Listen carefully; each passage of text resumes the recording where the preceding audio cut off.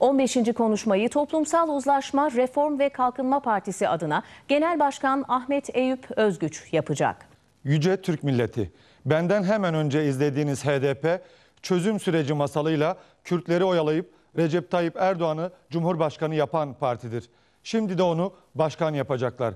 Aksine söyledikleri her şey bir yalandır. Bunların hepsi silahla bölemedikleri Türkiye'yi siyasetle bölmek içindir.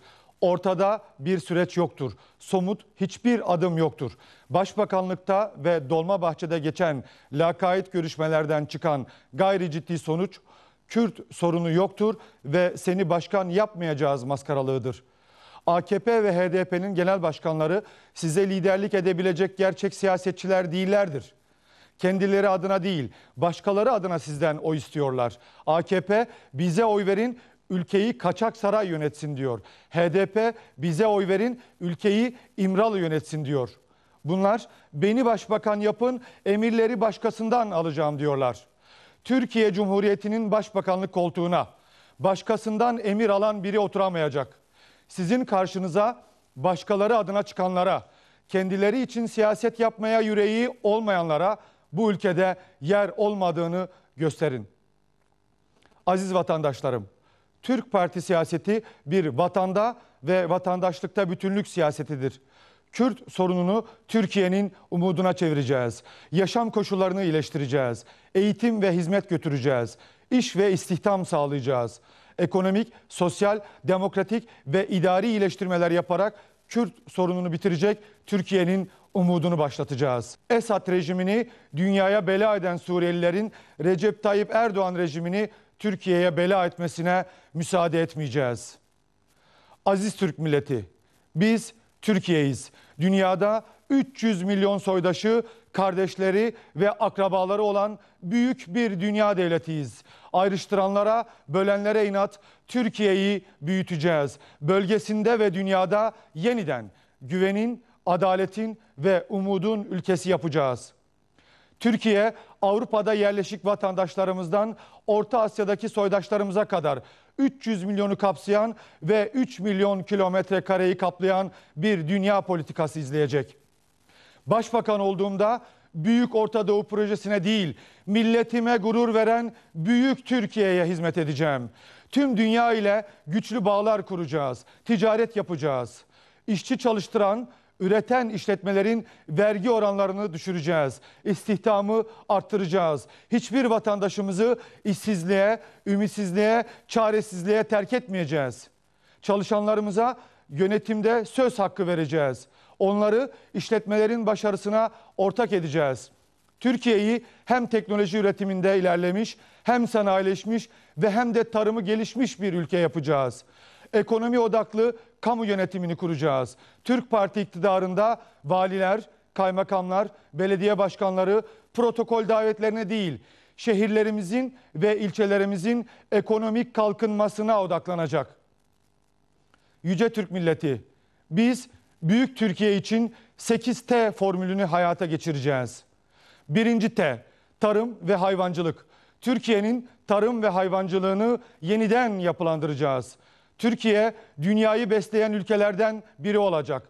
İkinci T, tarihi yarımada. İstanbul'un tarihi yarımadasını dünyanın en çok gelir getiren kültür ve turizm merkezi yapacağız. Üçüncü T, tekstil ve moda.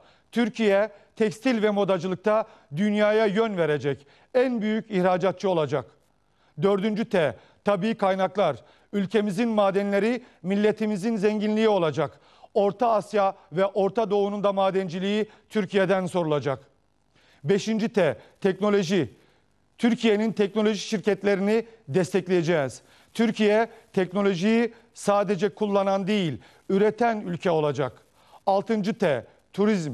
Ucuz turistin ülkesi olmaya son vereceğiz. Türkiye dünya zenginlerinin tatil cenneti ve turizmin lider ülkesi olacak. Yedinci T, taşımacılık ve lojistik. Doğu ve Batı arasındaki ticaretin merkez üssü olacağız. Taşımacılık ve lojistik şirketlerimiz, denizlerimiz, demir yollarımız ve karayollarımızda dünyanın yükünü taşıyarak bu ülkeyi zenginleştirecek. 8. T, taahhüt. Müteahhitlik firmalarımız bölgemizdeki ülkelerin altyapı ve üst yapı ihalelerinden en yüksek payı alacak. Taahhüt sektörü Türkiye'nin 500'e yakın ürünüyle iş gücünü de yurt dışına ihraç etmemizi sağlayacak. Büyük Türkiye için 8T ve diğer projelerimizle 3 trilyon dolarlık milli gelire sahip gelecek 100 yılın Türkiye'sini kuracağız. Devlet, özel sektör, sivil toplum işbirliği ile güçsüzü güçlüye karşı koruyan yeni bir uzlaşmayı sağlayacağız. Siyasete yeni fikirler, kalite, nitelik, zeka getireceğiz. Türk Parti, Türk siyasetine ve devlet yönetimine çok önemli üç yeni kavramı kazandıracak. Paydaş ekonomi, paydaş demokrasi, paydaş toplum. 1.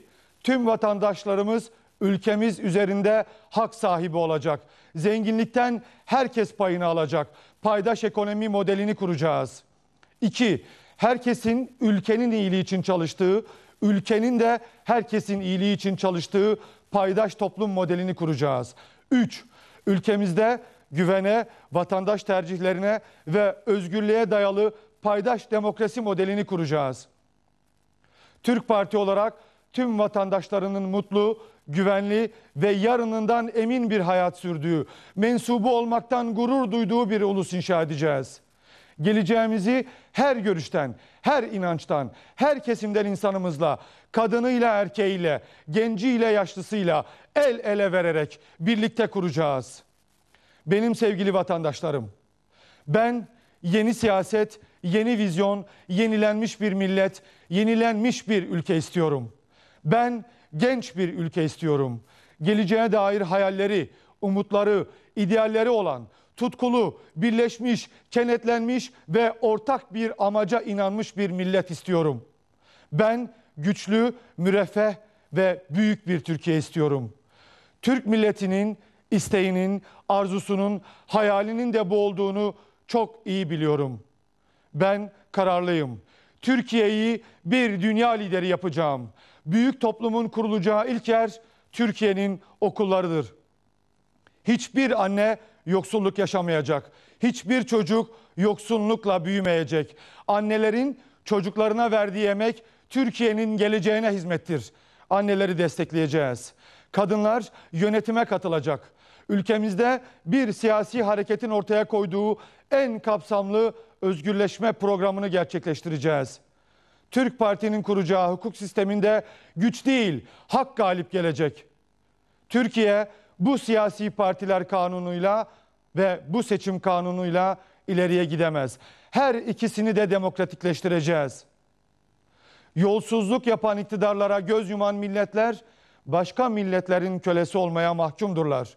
Türk milletinin bu kaderi yaşamasına müsaade etmeyeceğiz. Siyasetin finansmanını şeffaflaştıracağız. Artık kimse sizden çalınan paralarla sizin karşınızda siyaset yapamayacak.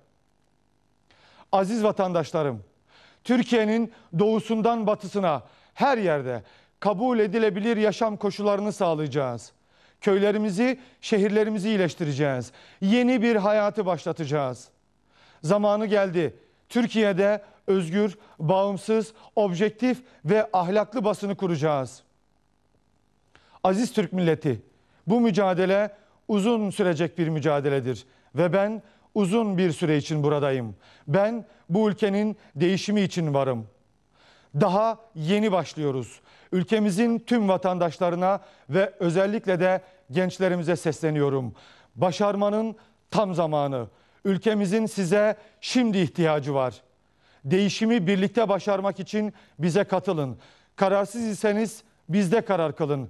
Başka bir siyasi parti üzerine karar verdiyseniz lütfen bu kararınızı şimdi gözden geçirin ve yarın Türk Parti'ye oy verin.